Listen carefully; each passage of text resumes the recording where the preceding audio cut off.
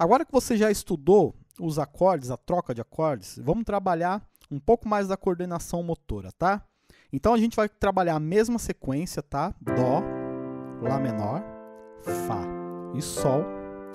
Só que agora nós vamos tocar é, o acorde da mão direita a cada tempo. Então, ó, um, tá? No tempo 1 um, você vai tocar a mão esquerda e vai segurar até o tempo 4, tá? E a mão direita você vai fazer uma pulsação contando junto. Vai ficar assim, ó. Um, dois, três, quatro. Vai para o próximo acorde, que é Lá menor. Um, dois, três, quatro.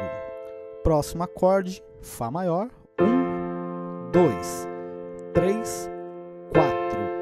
E o próximo acorde que é Sol. Um, dois, três, quatro. Novamente.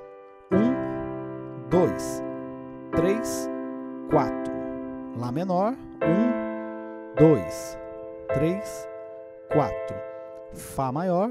Um, dois, três, quatro. E Sol. Um, dois, três, quatro. Ok?